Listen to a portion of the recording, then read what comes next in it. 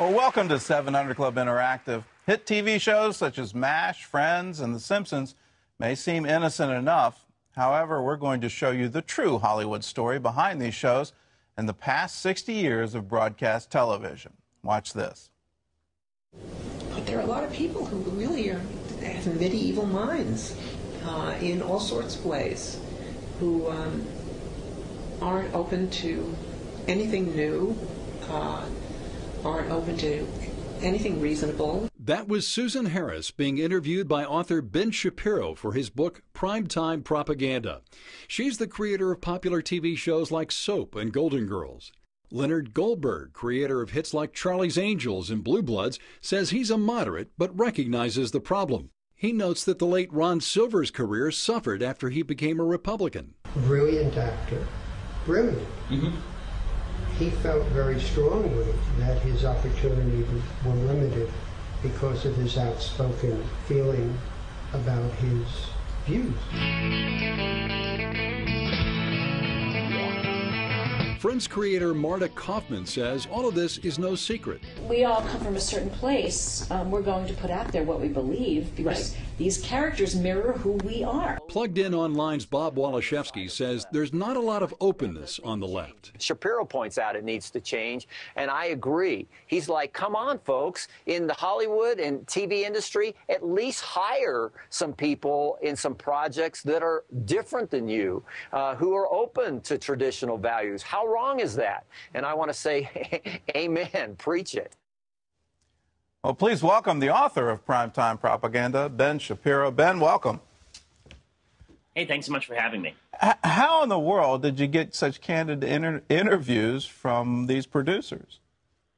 Well, the beautiful thing about the left is that uh, they're rather bigoted. And so, because my name is Shapiro and because I went to Harvard Law School, they probably assumed that I was a member of their political class. Uh, and, you know, that's something that I didn't dissuade them from. I mean, I wore my Harvard Law baseball cap into interviews. There were a couple reasons for that, by the way. When I wore the Harvard Law baseball cap, I, I usually wear the cap because I'm an Orthodox Jew, so I have to cover my head.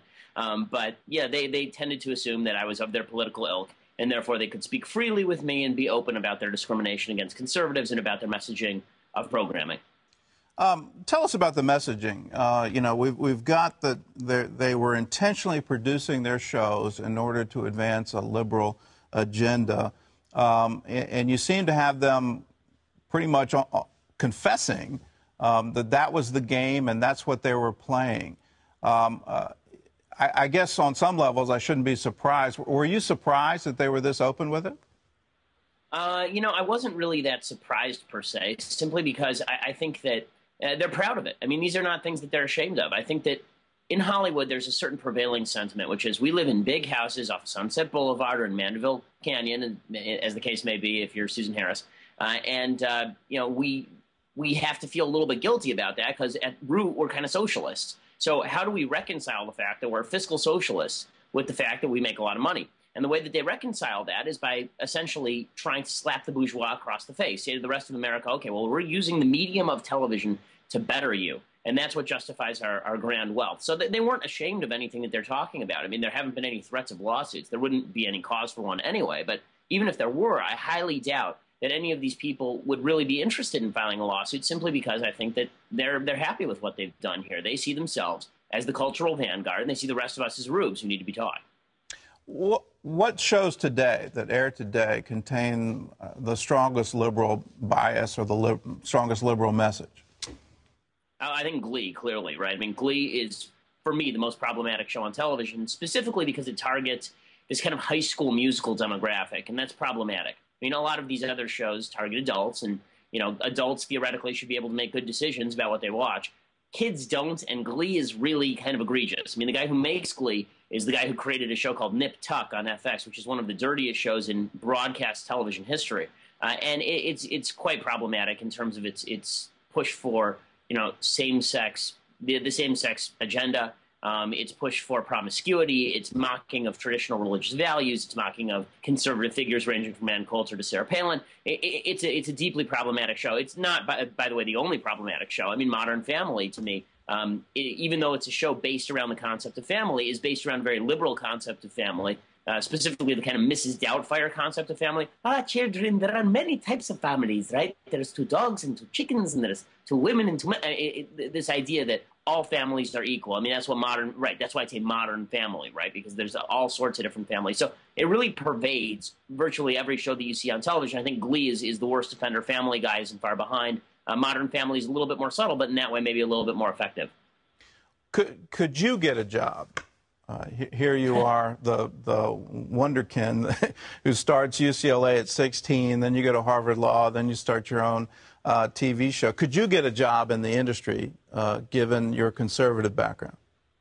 Uh, you know, if if I were um, in the closet about my conservatism, sure. I mean, I've had meetings in the past six months uh, with Warner Brothers Television, where they basically asked me to write an episode of, of, David E. Kelley's show. I've had meetings with USA Network, where they talked about me writing for a couple of their shows. I've met with Sony Pictures Television. I've met with the current head of uh, the CW network. So, uh, you know, I've had all these meetings. The problem is if they Google me, then I'm in serious trouble, right? I mean, this is what happened to me. I was not interested in writing for television when this originally started. I did an interview with Leonard Goldberg. You've heard, you know, part of the clip on that uh, on that earlier clip that you played from Leonard Goldberg. He and I really hit it off, and he said, "Why don't you write me a pilot based on Harvard Law School?" I said, "Okay, sure. You know that sounds like fun." So I go ahead and I do that, and then I go out and I get an agent, top agent in town. We have a meeting. Everything's going spectacularly well. About three weeks later, he calls me up and says, "Ben, I'm not sure that we can represent you." I said, "Okay, why is that?" He said, "Well." We had one of our agents Google you. Our, low, our lower level agent got a call from a producer who liked your stuff and who wanted more information about you. So one of our lower level agents Googled you found your political writings on your website. We don't think that we can get you work in this town with that political point of view. Unfortunately, that's sort of the way that it goes in Hollywood. I mean, I, I know dozens, scores, hundreds of people in Hollywood who have to hide their conservatism or their religious background simply in order to work. Is this sort of reverse McCarthyism, where you know it used to be uh, the blacklist uh, if you were a fellow traveler? um, it, it, are, are, we? Is that is is it just reversed? Hundred percent, hundred percent. I mean, the McCarthyism is no doubt what's going on here. Uh, in fact, there, has been a big hubbub in town lately. The Caucus for Producers, Writers, and Directors, which is a major organization in town, it's an honor society led by people like Tom Hanks. Uh, it's had a couple walkouts because one of the people that I interviewed was a guy named Vin Di Bona, who's a producer on America's Funniest Home Videos. He created that show, and he's a producer on MacGyver. And I caught him on tape in, for primetime propaganda, um, basically saying that yes, there's discrimination in Hollywood, and yeah, he's happy about it.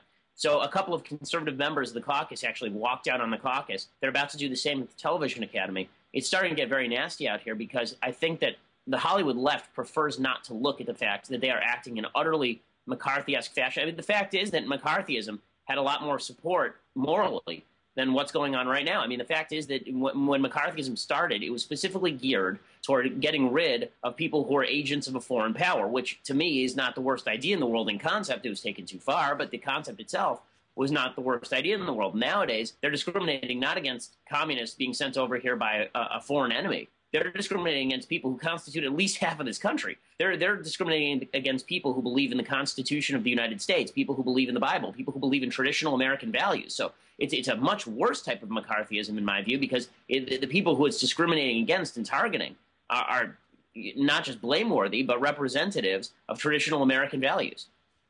Uh, there's there's also a, a, really bad side to this, more than just the the discrimination, and that is um, there was a group that was funded by um, Saudi Arabia um, that ruined 24 uh, because it was being a little too blatant in, in trying to pin terrorism on, on Muslims. Tell us about that one. That's exactly right. I mean, one of the ways that it works in Hollywood is that if you're a liberal special interest group, very often you get to actually pre screen the shows. Well, one of these quote unquote liberal special interest groups uh, is CAIR, the Council on American Islamic Relations. Uh, this is not a liberal interest group. This is a front group for Saudi Arabia. They, you know, they take a lot, a lot of Saudi, Saudi money They've funneled money to terrorists. They have, uh, in fact, worked heavily with people who support terrorism. They're super problematic. Well, CAIR got a hold of 24. And you may remember the early seasons of 24. Jack Bauer tended to be a pretty uh, hard nosed fellow, right? I mean, he wasn't very shy about torturing terrorists and going after them, doing what he had to do. Uh, the problem is that CAIR got a hold of the show and they said, oh my God, season four, you're actually showing Muslims as bad guys. It had taken a full three seasons for the producers of 24 to even step in those waters. And conservatives were really happy because for the first time, hey, look, on network television, Muslims are terrorists. Well, there's a shock. Not all Muslims are terrorists, obviously, but in this case, terrorists are Muslims, which, you know, statistically speaking, happens to be the case. Well, CAIR got a hold of this, and they they forced Fox to start running free commercials for CAIR, and then they forced Kiefer Sutherland to lead off every episode of 24 for a while with an announcement that although terrorism is a problem in our country, the American Muslim community has stood up against terrorism. Well, really, have they? I mean, and beyond that, how is it that CAIR, a Saudi funded group, is allowed to make decisions for a broadcast network like Fox? The fact is that, that, Saudi, that, that CAIR you know, had much more impact on the national debate than you know the moral majority or, or Christians in this country or religious Jews in this country because television is so liberal that it's only interested in hearing from liberal special interest groups when it comes to policing them. Uh, we've run into that here personally, where uh, you know we, have come under criticism uh, from even the Anti-Defamation League for for suggesting that it might not be a good idea to to um, let Muslims freely build mosques across Europe uh, that that was part of their announced agenda for the total conversion of Europe and putting it under Sharia law, and that may not be a good thing. Uh, what, what do you think about that? Can, can, we actually speak out uh, against a group that wants to uh, impose religious law as part of the law of the land? I mean, I think that we have to. I think that the liberal left is, is completely focused on making sure that, that doesn't happen. I think that that's a real problem. Look, television has an impact. Entertainment has an impact. When they propagandize and when they put out their messages that simply aren't true, like the entire American Muslim community stands behind us in the war on terror, I mean, that simply is not the case, factually speaking. CAIR, ISNA, the Muslim, Brother the Muslim uh, Students Association, all of these groups have shown tremendous support for terrorism. So the idea that the American Muslim community is standing four square behind the rest of us when it comes to fighting Muslim terrorism around the world is simply nonsense. But the fact is, television takes them seriously. And whenever Christians try to get involved in public debate, they're basically excoriated as a bunch of bigots, a bunch of racists, and a bunch of intolerant boobs who are simply trying to impose their religious values on the rest of us. Look, the fact is that in Hollywood, they're constantly saying how anti imperialism, anti colonialism they are. These are the greatest group of cultural imperialists in American history, and it ain't close. They want to impose their San Francisco, Los Angeles, New York values on you. And they see that as not just a calling, but as an obligation. Wow. Ben, what's next for you? Uh, well, you know, it's interesting. I think that we need to keep fighting this fight. Discrimination against conservatives in town is not going to end. And I think that we have to fight it on two fronts. I think we have to call out all of those who are discriminating. So I've, I've started really what's a crusade to get Norman Lear, the, the dean of television writers, to speak out against discrimination in Hollywood. That's number one. Number two, I've started a group called Declaration Entertainment, declarationentertainment.com. What, what we do is we raise money to make actual conservative entertainment or entertainment with conservative values. I know CBN does some of that. I think that that's fantastic. And I think that we have to you know, continue forwarding that mission because the fact is, entertainment matters. Well, uh, we're actually finding it's one of the toughest things to place is uh, the, some of the material. We're doing a Bible cartoon series and have actually found more censorship on that here yep. in the United States than around the world. Uh, where we can we can place it uh, in Indonesia, um, but we can't place it in, in the United States uh, unless unless we go out and buy the airtime. They, they won't right, buy it from us.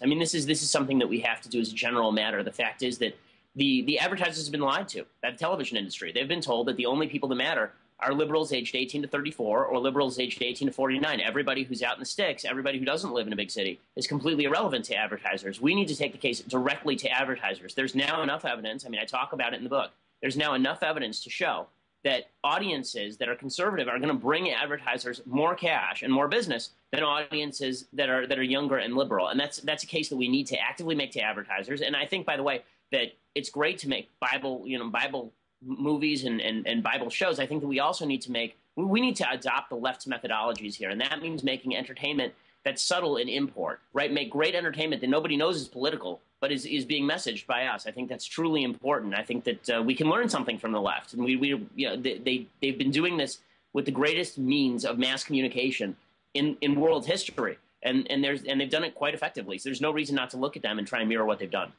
Ben, I encourage you. Go for it. Uh, Thanks so much. Yeah, uh, blessings on you. Ben's book, Primetime Propaganda, is available in bookstores nationwide. Um, thanks for being with us, Ben. And um, yeah, Godspeed.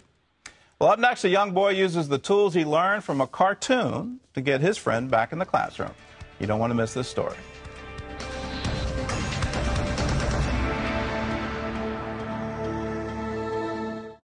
Think you're the only one who's afraid of the dentist? Think again. Truth is, it's even tougher on your pet. But according to the American Veterinary Dental Society, over 70% of dogs and cats show signs of oral problems by age three. Want a better way to fight plaque, tartar, and worst of all, that bad breath? Introducing Plaque Blast, pet dental care reinvented. The new patented treatment you simply spray on to control bacteria, plaque, and bad breath. Veterinarians now strongly recommend routine home dental care, but brushing your pet's teeth daily is a pain, and using a finger brush can be dangerous. With Plaque Blast, you simply spray it on and walk away. Unlike having to take your pet to the vet for a scaling, which can be painful, require anesthesia, and is tough on your pet. With Plaque Blast, you simply spray for teeth that are whiter, gums that are healthier, and breath that is fresh instantly. Your pets are relying on you to take good care of them, and taking care of their oral health is one of the four most important things that you should do for your pet. Other products contain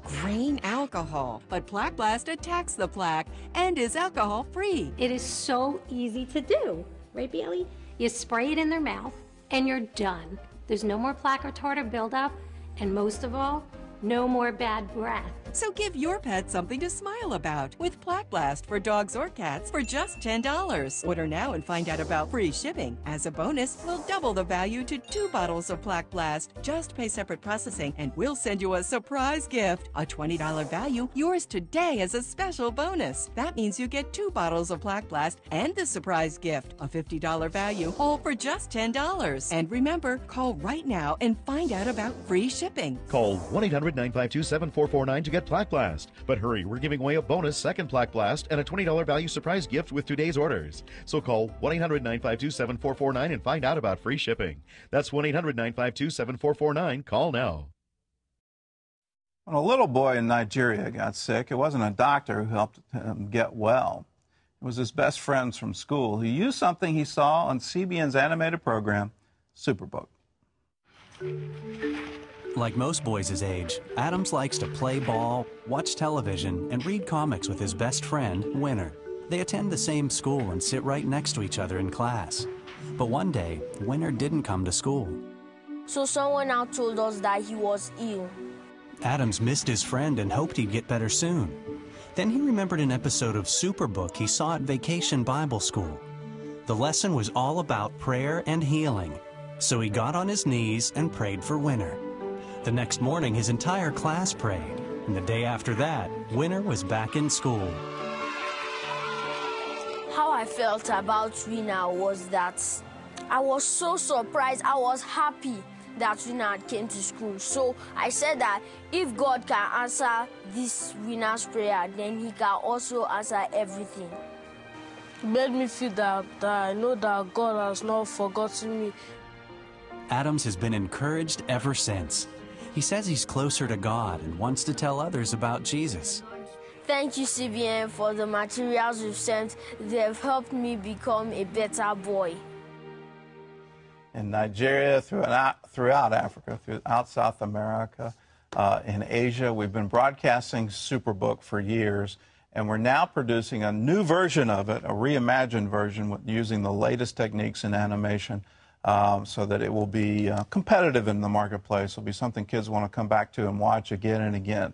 If you want to be part of the production, uh, we're now producing 26 new episodes uh, for a full broadcast schedule that we want to uh, release around the world come this fall. So if you want to be a part of it, uh, what we're asking you to do is give.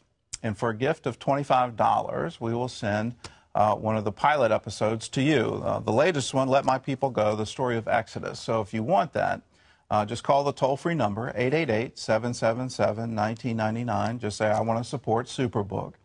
And for a gift of $25 or more, we'll send uh, the story of Exodus. If you want to get caught up, we've also got the story of Adam and Eve, uh, the creation story, and we've got the story of David Goliath, and you can get those on CBN.com. When we come back, Candace Cameron reflects on her time as a child star in Hollywood. Her story next on 700 Club Interactive.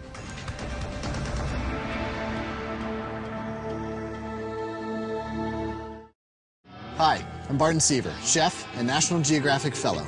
He's a top chef making an impact in the kitchen and on the environment.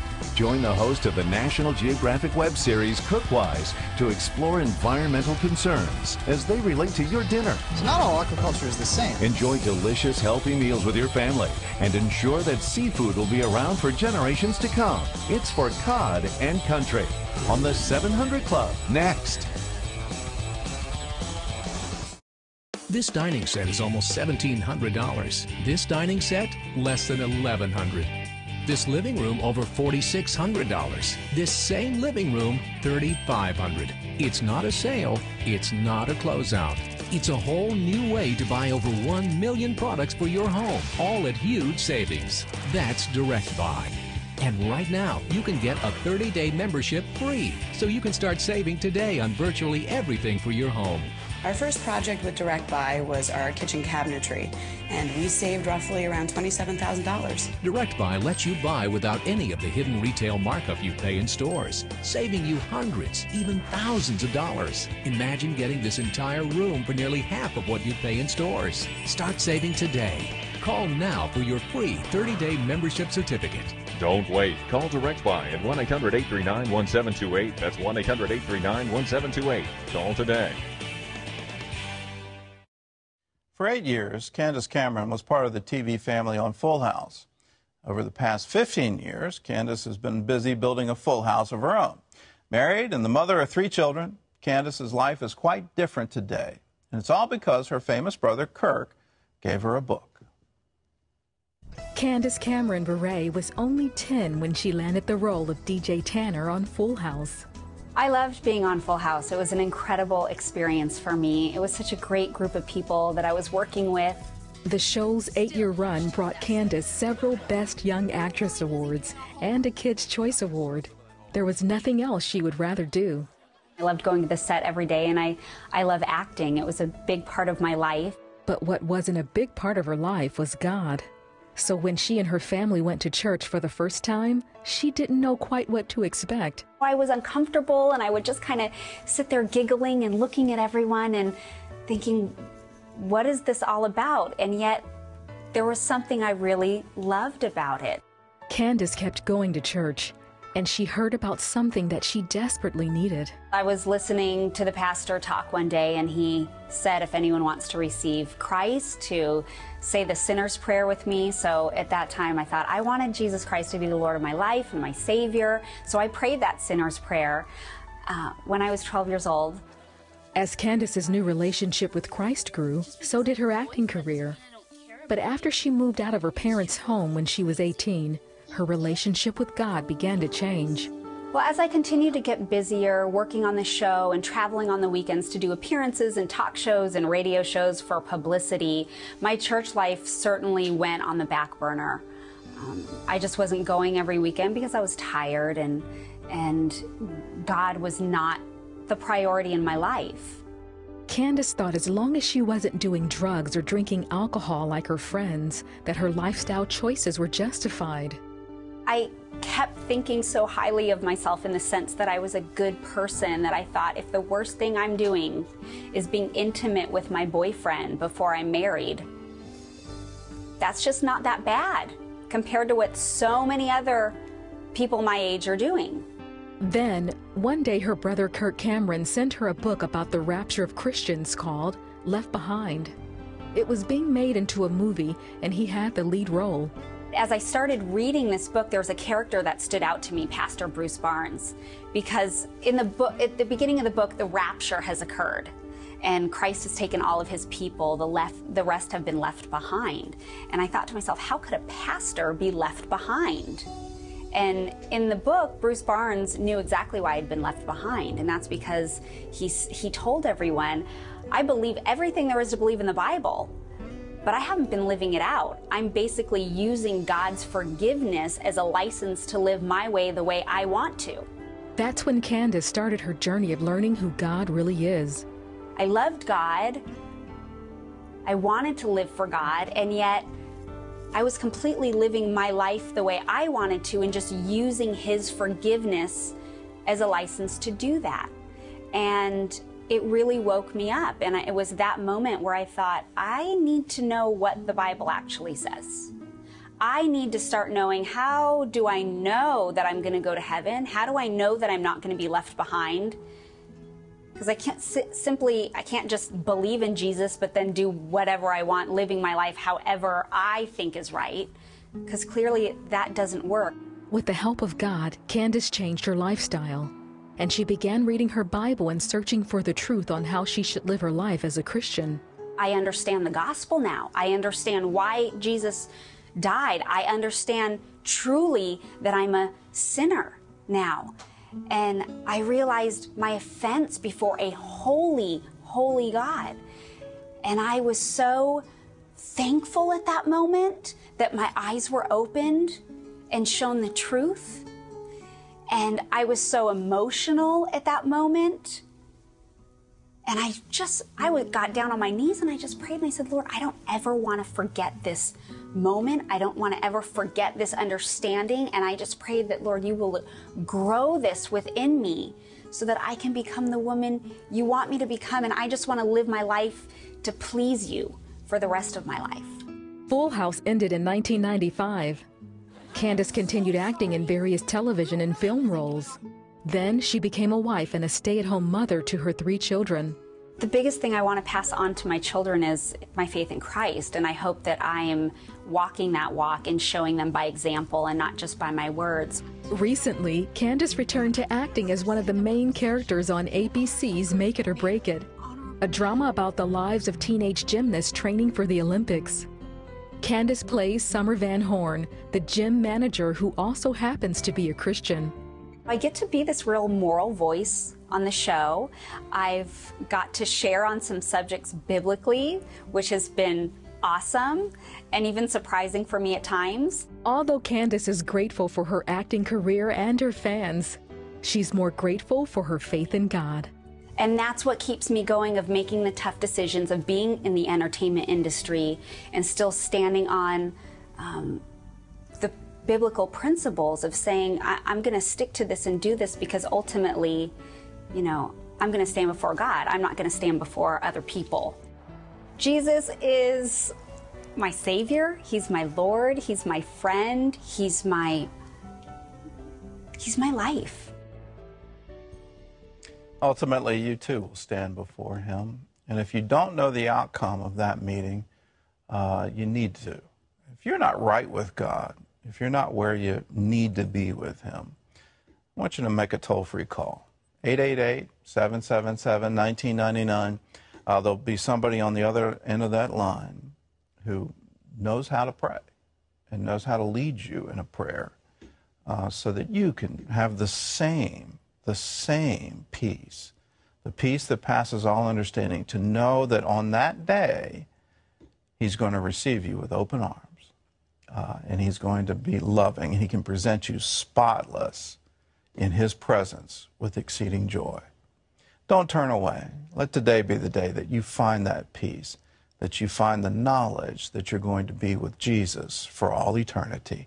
Call us 888 777 1999. Well, it's time to take a phone call. Um, thought we had uh, Nancy, but we've lost her.